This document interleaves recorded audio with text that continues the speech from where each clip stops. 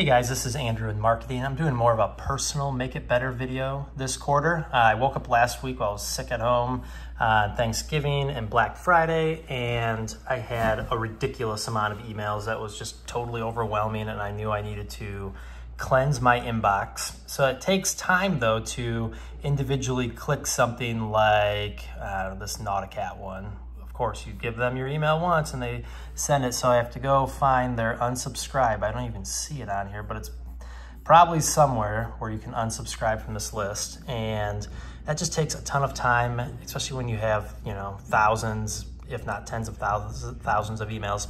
So I found this app called um, Trimbox. It's a Chrome plugin, and it helps you batch unsubscribe from emails. So I don't care to hear stuff from Mobby. I can look it up. Same with this Nauticat. Hunter fans don't even know how I got on that list. So you click these, and I've already done this last week, um, I and I didn't record it. But here is what you do. You highlight those. You click this button right here, and it's thinking, and it's unsubscribing.